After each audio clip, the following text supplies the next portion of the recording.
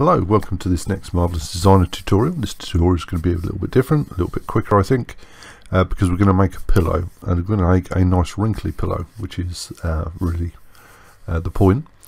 Um, so, just to start off then, I'm going to get to the rectangle tool and just left click into the viewport and I'm going to accept this 500 by 500 and then I'm going to right click on that in the 2D view, not the 3D view uh, with the transform tool selected and I'm going to copy and whoops mirror paste. I don't have to have that selected. I don't know why I selected that.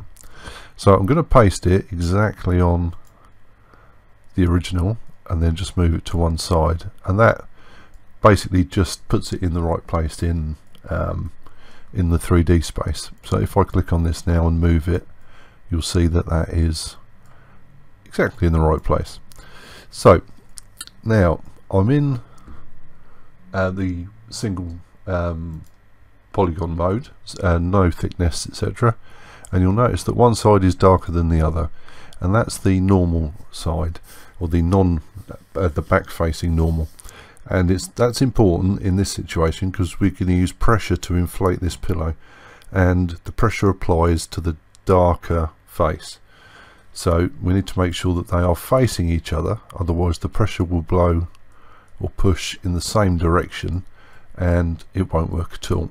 So let's do that. Okay, so let's quickly sew this up. Um, we can use the segment sew. Uh, so it should be that one to that one. And then that one to that one. And then top and bottom. Oops, not top and bottom. What am I doing? I think I've gone insane. Uh, let's undo. Sorry, top. I did those the wrong way around. There we go. Top and bottom. There we go. Now, if I just grab both of these, I want these to kind of lay flat on the floor or at least be parallel to the floor. I'm going to drop that down near the bottom uh, near the ground plane and that will help uh, when we put the pressure on.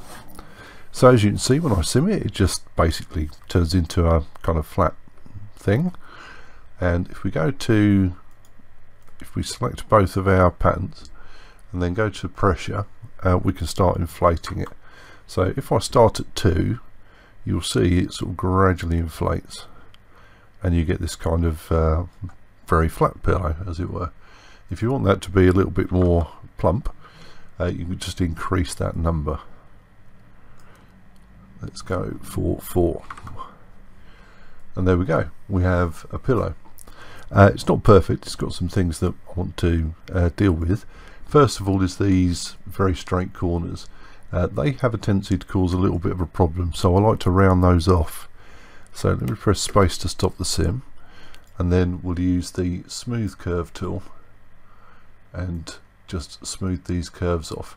Now I want to do these quite precisely so I'm going to right click there and I'm just going to type 50 into both of these uh, line numbers and then click OK.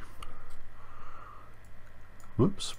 So it's left click, drag and then right click and then you enter the numbers.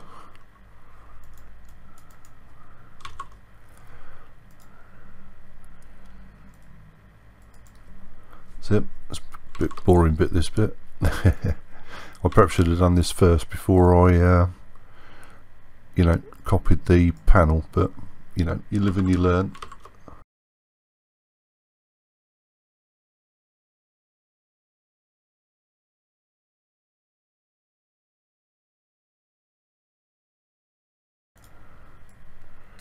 let's let that sew up there we go okay so I mean that's an okay pillow uh, if that's what you want. Um, you know that's good enough. Um, but what I want to do is to make this more wrinkly. I want to have more wrinkles on my side and the pressure is pampering that a little bit in that it's stretching the fabric and it's you know um, not letting me or not letting the, the folds form. So in the next little section what we're going to do is add to this to get those wrinkles in. So I'll talk to you then.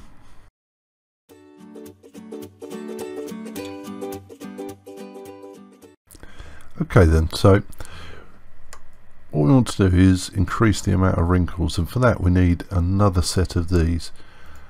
So if I select these and copy and paste them, if I copy and paste and just paste them over the top of the original, they'll be in exactly the right place.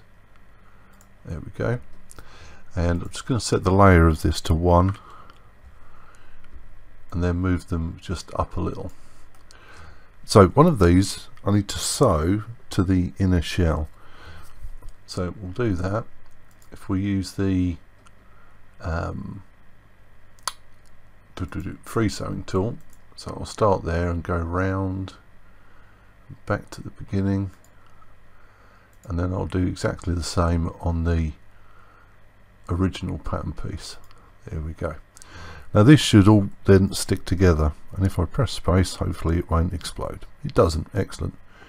So what I've got now is just two things that are you know sewn together. So if I turn my sim off for a second. Now what we know is to, to make wrinkles, you know, to make kind of folds in fabric, your line lengths where you're sewing together need to be different. And rather than just scale this I'm going to get a little extra control by using the uh, shifting the shrinkage warp and shrinkage weft so if I start this out at say 110 it will make both 110% of their original size and now when I sim you'll see it goes a bit puffy and starts to wrinkle a little bit more. Now that might be a little too much. So let's perhaps take it down to 107 you know depending upon the look you want just experiment you know you'll get there in the end. Let me set that sim running again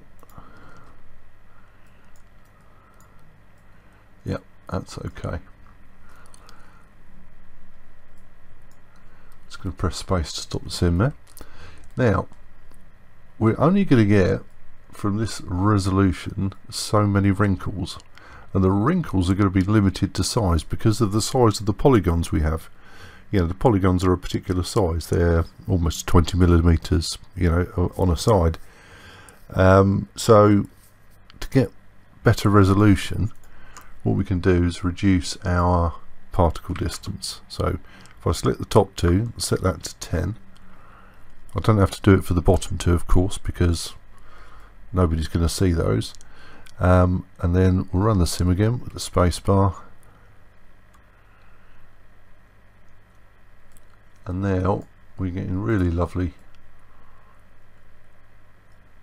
um, you know creases around the edges there now I mentioned that the pressure was causing us an issue um, and the pressure is now uh, basically keeping a space between our two uh, pillows, our inner pillow and our outer pillow. But that doesn't mean that I can't adjust this. So if I take that down to 2, see we still get the wrinkles, but it's not quite as puffed up. You know, that 4 value is quite high. Um, and it's helping us underneath because, you know, we're not going to see it, we can't see it. So you know it's just forming us like a shape. But the outer pressure you know we can do something with. If I take the outer pressure down to zero it might be a little too much. Yeah now it's just kind of a little bit uh, uh, a little bit nondescript. So I do need some pressure uh, but perhaps not as much as I have underneath uh, but it's up to you I mean you can go more pressure if you want yeah, to make it really, really plump. Let's pop it back to 4 because I think I had a nice result then. There we go. Okay, so um, that is essentially making a pillow with some nice extra wrinkles.